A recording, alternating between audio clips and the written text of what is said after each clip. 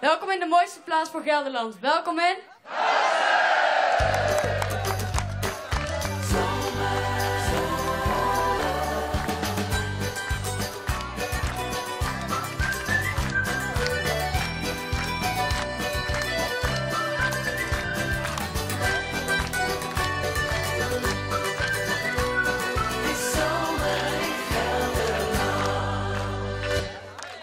Einigkeit und Recht und Vrijheid. Ja, ik dacht even kijken of er nog mensen meezingen hier. Dames en heren, welkom in Hullissen. Hier is Angelique Kruger. Joehoe! Hallo Hulhuizen. Hallo Hullissen. Hullissen. Hallo Hullissen. Vlak bij Gent, aan de Waal, de gemeente Lingewaard. Kleinste deelnemer van Zomer in Gelderland. Ik ga er ook zachtjes van praten. 386 inwoners maar liefst. Nou, ze zijn er allemaal hoor. Hè? En dan zijn we ook nog te gast eh, bij de 50-jarige speeltuinvereniging. Dank daarvoor. Coach Annemarie, klein maar fijn. Nou. En, en ons kent... nou, zegt ze. Het dorp. Oh, ja. Het dorp. Klein maar fijn en ons kent ons, of Ja, niet? dat klopt inderdaad. En daarom dat ons kent ons, voordat we het programma beginnen, willen we even dingen even zeggen. Ja. Jacques Beterschap. ja, dat is een teamlid van jullie. Ja, en die is dat ging niet zo lekker. ging niet zo lekker. En Nee. voor de rest ook niks. We, Jacques. we denken We aan je, aan je. Ja, goed Juist. dat je me even noemt. Kennen jullie iedereen in dit dorp of in het buurtschap? We doen alsof we elkaar kennen. Ja? En op zo'n dag als vandaag, dan leer je elkaar ook echt kennen. Ja. Oké, en eh, maar je groet elkaar hier wel, toch? Iedereen zegt... Ja, zeker. En wat, Uiteraard. en wat zeg je dan, John? Hoi. Hoi. Alles goed? Ja. En als je dan naar de grote stad gaat, doe je dat dan ook? Ja, maar dan moet je eerst even douchen. Een schone box aan. Wacht even, als je naar de stad gaat, moet je eerst douchen. Ja, zoals vroeger. hè. Eerst douchen. En dan de schone kleren naar, naar de stad toe. En dan, en dan vooral als je bij de VND was... Oh, dat mag niet, hè? Ja, dat bij de. VND was Of gehaald. Dan ging je niet met eh, die tas naar de. CNA. Want dat kon niet, weet Ja. je wel. Want ja, zo was het Oh, vroeger. je had allemaal van die regeltjes. Ja, Jij bent hier geboren, getogen en nooit meer weggegaan, Nou, zeker? nou, niet geboren. Ik ben Oh. in Nijmegen geboren. Oh ja. En dan wou ik ook graag zo lopen. maar verder, verder is hij hier mijn wiegje gestaan en ik ben ja, door is een beetje opgegroeid. En dan weten we meteen hoe jullie hier praten, hè? want John doet dat heel erg goed, ja. Het hoorde ooit bij Duitsland, begreep ik. Dat eh, klopt, ja. Wanneer? 200 jaar geleden. Oh, oké. En voel je dat nog een beetje van binnen? In je Nou, ik niet zo, want ik ben eh, een beetje import ook. Ik kom eh, aan de andere kant van het land vandaan. Maar Ja. er zullen best mensen zijn eh, Hebben jullie- die het nog zo voelen En ik denk dat Wilco daar heel goed iets over kan vertellen. Verwantschap? Nou, verwantschap eh, niet echt. Ik vind het eigenlijk soms wel jammer. Want anders waren we wereldkampioen geworden met voetbal. Ja, en ze hebben de laatste Duitser ook meegebracht, die hangt daar. Is 200 jaar oud, hè? Ja. Hey, jullie hebben niet echt eh, oude gebouwen of monumenten hier, hè? Hoe komt dat? Ja, hoe komt dat? Ja, Maar Ik wil net zeggen, de monumenten, dat zijn wij zelf inmiddels. ja, eh. dat, dat zei de burgemeester op de radio, hè? Oh, dat weet het- ik niet. Het Oh, mooie zit hem niet in monumenten, maar dat In zit de hem in mensen jezelf. zelf. Maar het komt ook omdat jullie ooit verdwenen zijn in de Waal. Het is jullie wel een verschrikkelijke geschiedenis Ja. hier, hè? Het is oh, wat een horror allemaal. Nou goed. Ehm, ook op radio hoorde ik twee van jullie teamleden over een buurmeisje. Wie waren dat? Wie had het over het buurmeisje? Kom er maar eens even bij. Bert en John, ik kom even tussen jullie in. Eh, jullie waren, eh, woonden in dezelfde straat. Ja, ja wij eh, woonden op eh 50 meter van elkaar. Ja, en er was maar één buurmeisje. En er was maar eh, één buurmeisje in onze categorie, we maar zeggen. Ja. ja, en jullie hadden allebei hetzelfde buurmeisje. Ja, maar dat kon ook. Ja, in de zandbak bedoelde hij. Oh, oh. En wa- wat is er met het buurmeisje gebeurd? Het buurmeisje dat had zo genoeg van die boerenjongens die is naar de stad verhuisd. Die is geëmigreerd. Ja. ja. Waar woont ze nu, weet je dat? Volgens mij Amsterdam. Oké. En eh, deden jullie nog steeds een vrouw? Of, eh, Nou, als het mot. Op radio ging het echt anders. Maar goed, ja. Nou ja. Maar eh, heb je iemand? Ja, ik heb iemand. Wie dan? Eh Annemiek. Annemiek. En jij? Ah ja, daar. Oh, Anja. Dag Anja. 32 jaar. Ah. Oh, mooi hoor. Ja, mooi. het is toch gelukt, hè? Ja, goed zo. Oké, we gaan naar het goede doel. Ik loop weer nu al uit. Ik loop nu alweer uit. Ehm, wat is het goede doel? Het Goeie Doel is speelweek van Hulhuizen. En dat is ook hier in de speeltuin? Dat is ook hier in de speeltuin. En zodat in de eerste week van de zomervakantie, van de grote zomervakantie, Ja. kunnen alle kinderen uit Gent, Hulhuizen en omstreken kunnen zich eh, van tevoren aanmelden hier. En dan kunnen ze een hele week hier uh, vertoeven, tent opzetten de eerste dag. Spelletjes spelen, buiten het erf leuke dingen doen. En natuurlijk het slapen. me- mega kindvriendelijk. Ja, absoluut. Ja, mooi doel hè jongens? Toch? Ja. Wie gaan er puzzelen? Wie gaan er puzzelen? Dat zijn eh, Roger en Anita. Roger en Anita. Roger dat, kom maar mee. Yeah! Kom er maar naast staan. En eh, mogen jullie nog even omdraaien naar de camera? Ehm, jullie hebben advies ingewonnen. Van wie? Eh, van Maris, die staat ook daar in het publiek. Hi. En een app gedownload. Dus En ik wie- heb al, wie ik is heb hij dan? eh, Maris is, een- is, eh, die is een wiskundige. En die eh, weet heel goed hoe je dat moet oplossen. Dat is dus gewoon te berekenen, zo Ja, zo. het zou Ja. moeten kunnen, ja. Nou, we gaan kijken of het lukt, hè? of het eh, geholpen heeft. We kijken even naar het scherm. De bekende Gelderlander, Nederlander kan ik wel zeggen. Ja. Je Ja, weet wie het is, hè? Ja, eh, Harm Edis. Ja, Harm Edis. Goed, we gaan hem onthullen. Voor iedere minuut die jullie erover doen, nou, het bekende recept. Als je daar zit, zie je niks, sorry. Eén minuut per kilo voor de vlegelhanger en je mag bellen als je klaar bent.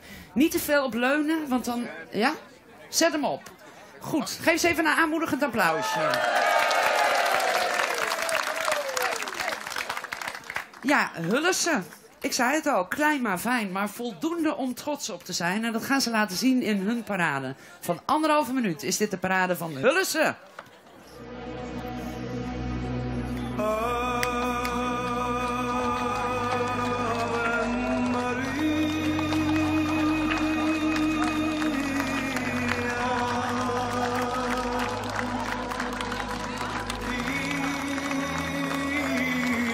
Dit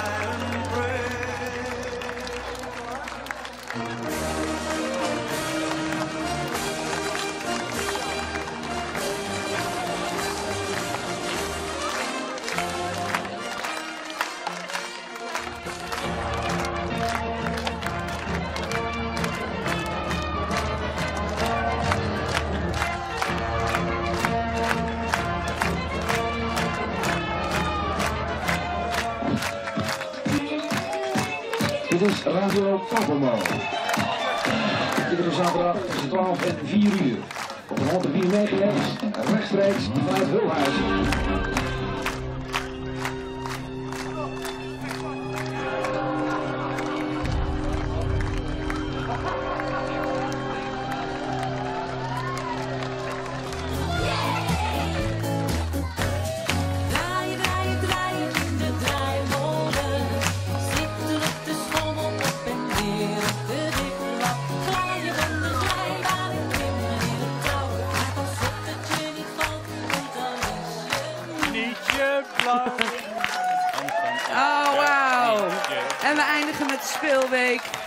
goede doel. Ja, en ik ben je helemaal vergeten aan te kondigen, Nee, dat maakt Dames en niet heren, mag ik een heel hard applaus voor Reinoud van Assendelft, de koning.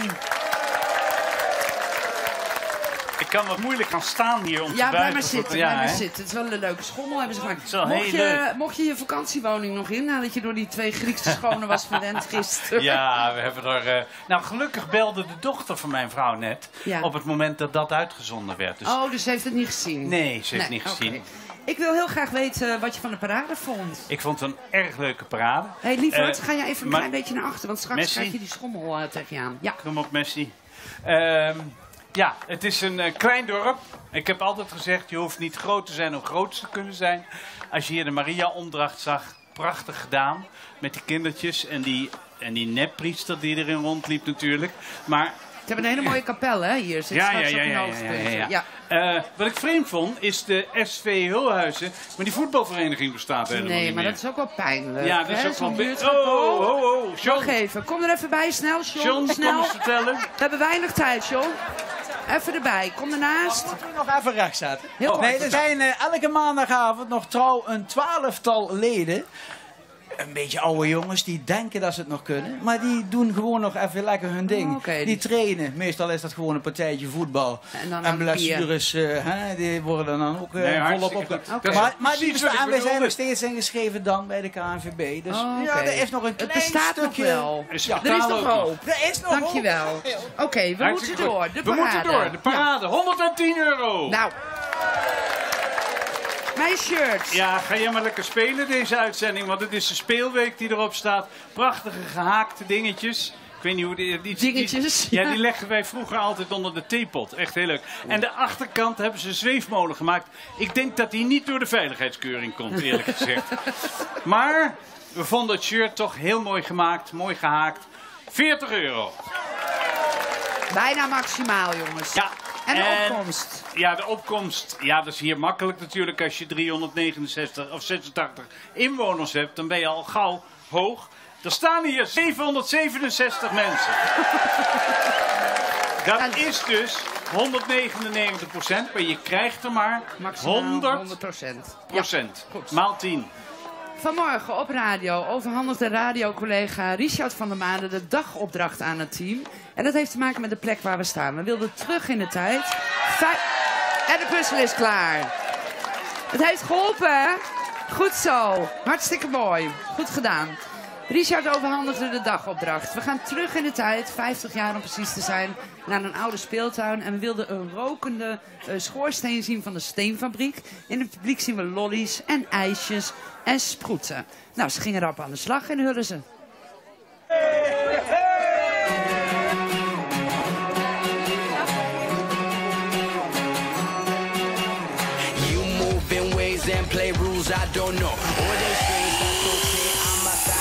Learner, so.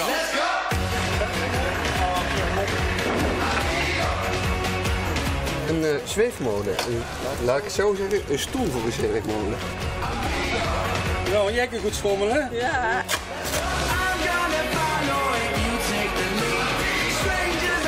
Nou, jullie mogen schilderen, hè?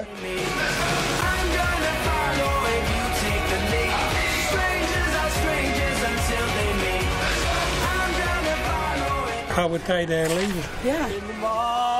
molen van het leven. Draai je allemaal jij Daar komt het helemaal goed. Trots op die jongens. hè? Af en toe gaat pa en moe met ons naar de speeltuin toe. Dat is voor ons kinderen het fijnste wat bestaat. Een eind bij ons vandaan, daarom gaat de karavaan. S'morgens al vroeg weg, dan zijn wij er niet zo laat. Heeft mama een goede bui en is papa niet te lui? Nou dan gaan we naar de speeltuin. Woehoe! Dat hebben jullie heel goed gedaan met z'n allen. Han, Han van Wern, dat ben jij. Ja, klopt. Wat is jouw eh, taak in de speeltuin? Nou, mijn taak in de speeltuin. Ik heb er vroeger heel veel gespeeld. Als klein manneke. Als heel klein manneke. En Ja. ehm, 50 jaar geleden is dit ontstaan. Hoe, hoe is dat zo gekomen? Nou, als ik het goed begrijp en goed terug kan gaan, eh, is het, komt het eigenlijk vanuit de processie. Is het Pinksterfestijn opgericht. Eh, dat werd georganiseerd door de speeltuinvereniging. En het opgehaalde geld daarvan kocht men speeltoestellen. Dat begon met een zandbak, een eenvoudige schommel en een wip. ja, Het jaar daarop weer Pinksterfestijn, weer wat geld in het laadje. weer wat bij. En dan werd er bijvoorbeeld uit eigen kracht een grote glijbaan gebouwd. Maar voor welke, want het was toch ook voor de arbeiders hier? Wij zaten veel arbeiders hier en in de omgeving? Ja, kijk, In de je ziet, steenfabrieken? kijk, als je hier rond fietst, kun je het beste doen, dan zie je dat er heel veel vrijstaande huizen zijn. Ja. Met daarachter een akkertje aardbeien, ander fruit. De een had een varkensschuur, de ander had wat stieren. Ja. Ja, en die ouders waren altijd heel druk, Ja. gingen niet op vakantie. En die dachten, als we één keer de handen uit de mouwen steken, dan hebben, ze, hebben onze kinderen vertier Ja. achter het huis. Ja, wacht even hoor. Wil je naar mama? Is mama er al? Nee, waar is mama? Wil je naar mama? Waar is mama? Doe maar bij mama. Oh, je, oh, je bent oma. ja, oma is ook goed. Oké, Hanman, je speelde jezelf als klein manneke, maar, maar dan moet je me even van dat noodlottige voorval vertellen. Wat is er gebeurd? Ja, ehm, ik snap wat je bedoelt. Eh, ik was een jaar of acht en toen stond de speeltuin nog ergens op het pad van Burkesdam. Dat is hier 200 meter verderop. Dat Ja. was toen de speeltuin. Ja. En we hadden een familieschommel. Ja. En wij jongens onder elkaar hadden dan eh, eigenlijk een wedstrijdje s'avonds. Dat noemden we kuntjestoeken. Kuntjestoeken. Die schommel die ging zo heen en weer. Ja. En die middelste stang, die tikte dan boven tegen zeg maar, de stang aan. Ja. En als je dan tik zei, dan had je een punt. Ging hij daar weer heen tik, had je punt. Ja, kuntje ge... Kuntjestoeken, want dan ging hij even iets omhoog. Oké, Maar maar... degene die de grootste serie neer kon zetten, die was winnaar. Alleen, het tempo werd een keer opgevoerd. Ja. En op een gegeven moment ging hij zo hard dat ik voorover met de neus op de stang terecht kwam. Met als gevolg een gebroken neus en twee blauwe ogen. Och, Germpie.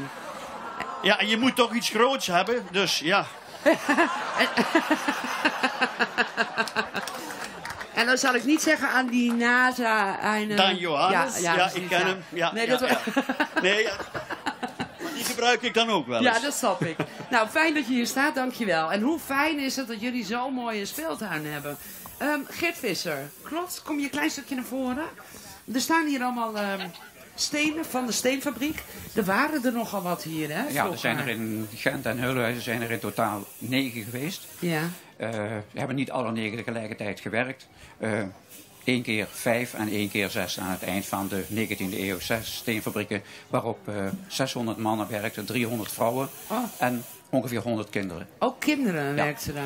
Eh, En die, die, die omstandigheden waren natuurlijk vrij erbarmelijk, ja, denk die ik. waren eh, heel slecht. Ja. Eh, lange werktijden, zwaar werk, soms ook gevaarlijk werk. Eh, toen ze met machines gingen werken, waren draaiende delen onbeschermd. Dus er zijn nogal wat ongelukken gebeurd met die machines. Ja. Heftige tijd. Ja, heftige tijd, ja. Ja. ja. ja. Is de, de, hij is er nog, of niet? Er is nog één steenfabriek, Ja. de Zandberg, die bestaat nog. Was trouwens ook de eerste steenfabriek van Gent. En die eh, werkte al in 1697 en die werkt nu nog Ja, steeds. fantastisch. Ik ga even een beetje weer ingrijpen. Lieve mensen, mag ik een beetje stilte hierachter? Dank jullie wel. Ehm, eh, de Waal is natuurlijk ook heel belangrijk voor die steenfabriek. Ja, in eh, twee opzichten. Eh, op de eerste plaats omdat de grondstof voor de steenfabriek, de klei, die is in de loop van de eeuwen is die door de Waal eh, aangevoerd. En de steenfabrieken hebben de grond afgeticheld, zoals dat heet, en de grond gebruikt om stenen te maken. Ja. En daarna, als ze gemaakt waren, zijn ze meestal per schip afgevoerd, omdat dat gemakkelijker was Ja. dan om Ja. het per wagen te doen. En toch heeft die wa- dat water hullen ze gewoon verwoest. Ja, het water heeft ervoor gezorgd dat er van Hulhuizen dat overging in 1817. Eigenlijk nauwelijks nog iets over was. Het was nog zo'n 1200 meter lang, 50 meter breed. Ja. En zeg maar ja, dat is ongeveer 10 voetbalvelden groter was het niet toen het Hulhuizen Nee. van Duitsland of van Kleef naar eh, het Nederlandse gebied ging. Heeft dat iets gedaan, vind je, met de mentaliteit van de mensen hier? Die Ehm, geschiedenis, zeg maar. Ehm, ik denk dat eh, de saamhorigheid dat die wat groter is geworden. Maar dus, ik denk ook dat de mensen uit Hulhuizen dat die redelijk veel contact hadden met de mensen uit Gent. Ook al omdat vanaf 1600 het katholicisme in Gent verboden was. En bijna alle Gentenaren die kwamen hier naartoe, naar de kerk, Ja. om hun eh, ja, godsdienst te kunnen beleiden. Ja, mooi. Dankjewel dat je hier staat en dit even met ons wilde delen. In dit zomerse programma. Dankjewel.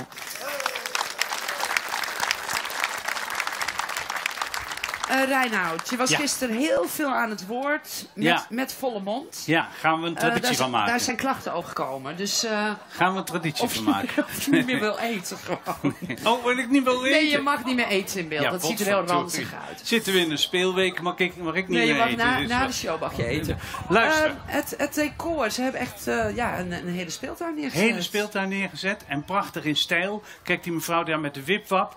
Ik vind, mijn moeder deed dat ook altijd. En er was er eens een keer iets met mijn broertje, liet ze me los en ik knalde naar beneden. Eh, die, die zweefmolen vind ik ook erg mooi. En dan ja, hele speciale eer voor Jurre en voor eh, Jet. Die eh, hele speciale act, act gedaan hebben. Dan, hartstikke goed, Jurre. Ehm, de Steenfabriek. De Steenfabriek is een print. En ik had hem zo graag helemaal herbouwd zien worden. Maar ja, Ja. dat was, nou, dat kon niet, hè. Maar dat liedje... Hij is een beetje verwend, hè, in de loop van de week. Nee. eh, ja. Wat zou je van het liedje vinden? Heleentje van Capelle en de Karakieten. U weet het nog, hè? Ik weet het niet, maar jij bent een stuk ouder. Nou, ja goed. Zullen we het er maar niet over hebben? Zal ik je even sch- schommelen? Ja. Hoe, maar eh, heb je ook gezien al die ijsjes? Laat ijsjes IJsjes zien. En de lollies. en snoep en lollies. Snoepjes. Dat is Echt echt bizar veel. Heel mooi. En mijn favoriete ijsje. Met dolle raketjes. Ja. En eh, we staan voor de cheque staan we nu al op 770 euro. Want ze krijgen voor de scène en het decor 320 euro. Gaat hij het ineens omdraaien. Ja, leuk, hè? Ja. Nou, iedere dag gaat eh, Alberto op pad met Jasper en Patjanka. En dan gaan ze op zoek naar de hoogtepunten. Nou is Hullissen natuurlijk niet zo groot. Dus heb je er dan wel drie? Nou, dat is gelukt hoor. De hoogtepunten van Hullissen. Drie hoogtepunten in twee uur. Dat kunnen maar weinig mensen zeggen. Dit is Hulhuizen. Gas erop, Cor. Yeah, I'll be fine.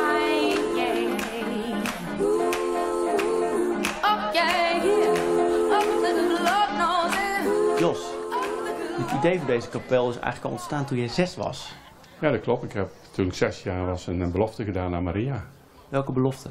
Dat ik als zij zorg dat ik bij mijn pleegouders zou blijven, een huisje voor haar zou bouwen. En dus dit huisje geworden.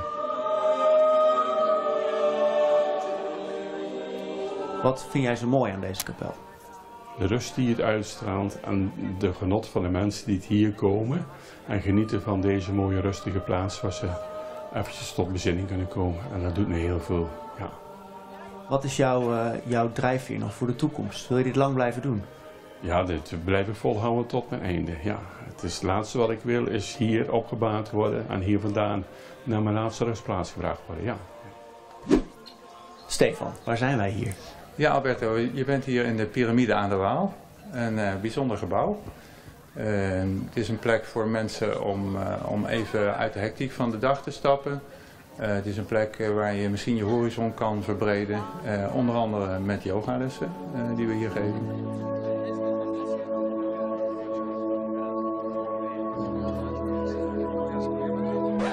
Goedemorgen. Eet smakelijk, meneer en mevrouw. Hé, hey, waar zijn we nu? Vertel eens. Nou, we zijn nu op de camping, eh, camping Waalstrand. Hoe lang zit u al hier? 28 jaar. Dat is heel lang. Dat is heel lang. We hebben laagwater meegemaakt. We hebben hoogwater meegemaakt dat we vluchten moesten. Een hele fijne, rustige camping. En ook voor kinderen. En eh ja, ik ben leeg.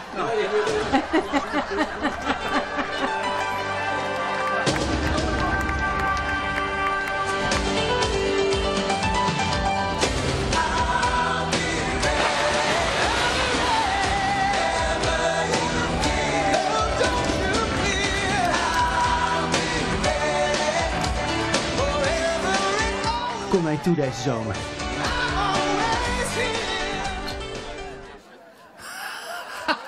En er wordt ontzettend gelachen op het plein. Heel erg leuk filmpje. Alberto Baywatch. En dat eten gewoon opeten, hè? Ja. Ik eh, sta naast twee mensen en die hebben hele leuke namen. Frans en Ans Engel. Eh, want er moest iemand gezocht worden ehm, die het schip in is gegaan. En jullie zijn het schip ingegaan. Dat klinkt dramatischer dan wat het is. Zou ik niet denken, dat moet je ook niet doen. Het is letterlijk, we zijn inderdaad eh, samen gaan varen, dus het schip ingegaan. En hoe, zou, hoe kwamen jullie op het idee dan? Eh, eh, Als vrije tijdsbesteding gewoon lekker buiten zijn, drukke baan gehad en dan lekker uitwaaien. Lekker letterlijk. waaien. Ja, en waar gingen precies. jullie naartoe? Nou, in het begin alleen op de kleine rivieren, later de zee op. Jullie zijn echt de zee opgegaan. Ja, verder nog tot eh, de Zweden, Finland. En eh, we, we leefden ook vier, vijf maanden per jaar op de boot. En dan met z'n tweeën. Met dan, tweeën, dan, ja. ja, Ja. dan moet je het wel goed zien te rooien met elkaar. Ging ook heel goed. Ging ook ja? heel goed. Ja, we kregen ze onderweg zelfs compliment als we aanlegden. Goh, doen jullie dat met z'n tweeën? Ja, Ja, stoer zeg. En waar was zij goed in? Eh, van boot afspringen om de boot vast te houden. En dan met veel wind. De blaren in de handen. Echt, ja? Je hield de Ja. boot gewoon tegen. En wa- wat deed hij heel goed? Sturen met een vrij grote boot en dan echt heel perfect aanleggen. Dat eh, is toch een kunstje op zich hoor. Oh, wat lief Ja, dit, dat hè? Dat ze dat serieus. over elkaar zeggen, dat vind ik echt wel tof. Oké, maar eh, jullie wilden varen, veel varen. Dat deden jullie veel zeilen. Ja, ja. Eh, en niet aan de wal gaan wonen echt. Jullie hadden wel een huisje, begrepen? We woonden in Lent en eh, daar waren we de rest van de tijd van het jaar. Dan wil je natuurlijk ook zoveel mogelijk weg zijn.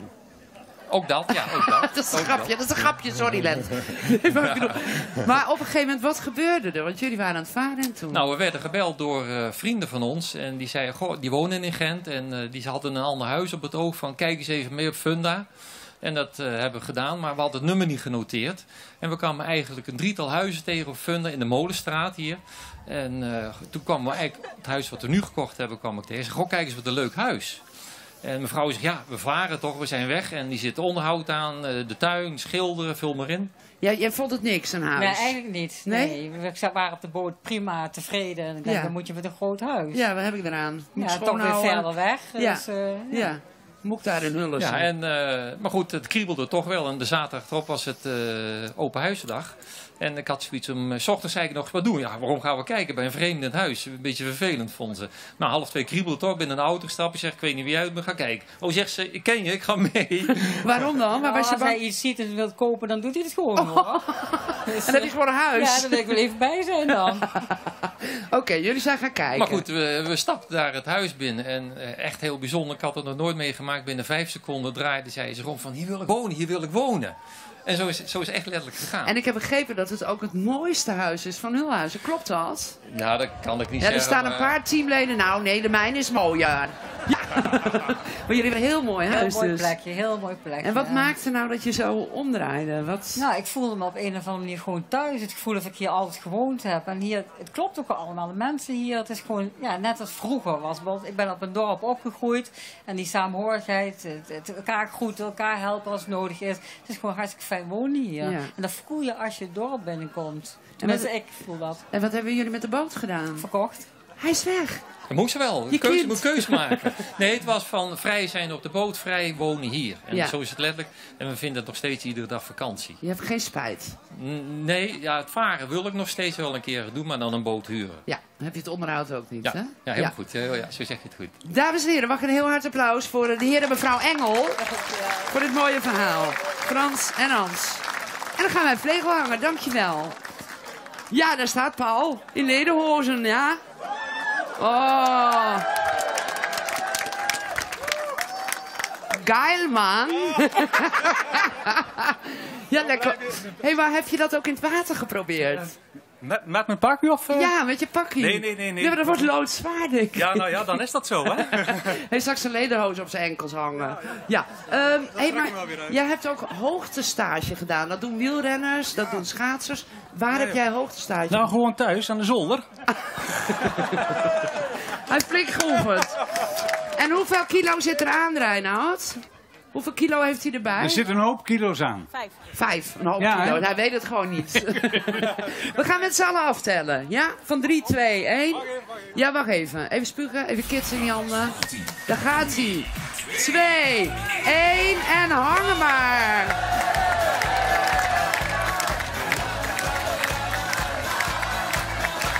Niet vallen nog, hè?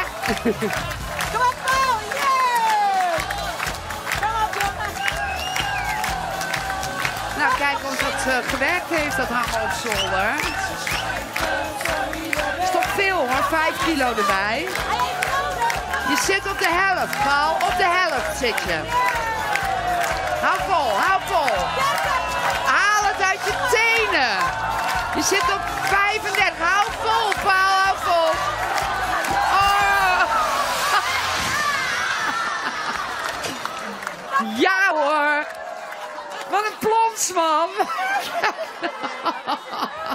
Zo was zeiknat. Dankjewel, Paul. Dat zijn strafpunten. Ja, goed gedaan. We gaan kijken wat er op de check komt. Reinoud. We hebben een, ehm, we hebben een cheque van maar liefst 858 euro. Mooi. En waar Waar is de Annemarie? coach? Annemarie. Komt ie. 858. Paul komt eraan. Ja, die lederhozen is heel zwaar, hè? Kijk dan. Nou, we gaan kijken naar het opkomstpercentage. Is dus meer dan 100%. Dat vermenigvuldigen met 10 wordt 1000. 1000. De, Aantal mensen op het plein, de app. eh, de app 724, samen 2491. En dan maakt komen we in op een totaal eindstand 3000. 300, en nou wordt het spannend, 49. Tweede plaats. En dat is Tweede de plaats! tweede plaats. staat op twee! Tweede plaats! En dat is klasse. Echt heel goed gedaan. Gefeliciteerd. Van harte. Ik ga ze zo bedanken. Maar ik ga eerst vertellen dat we morgen in. Empen zijn. En ik wens ze daar heel veel succes. Ik dank de coach en ik dank het team voor jullie inspanning. Goed gedaan, jongens. Tweede plaats! Grote klasse. Dank aan de speeltuinvereniging voor de gastvrijheid. We sluiten af met John van Anholt en RDM. Bedankt voor het kijken en heel graag tot morgen. Dag.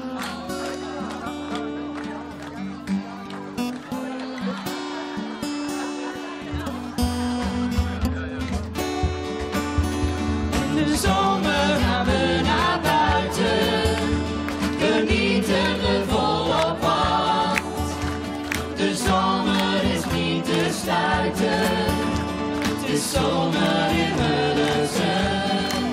Het is weer feest in het mooie Hulhuizen.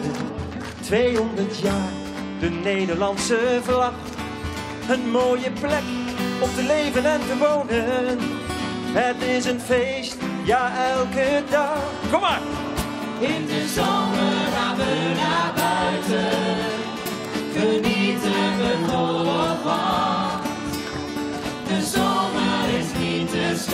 stuiten, het is zomer in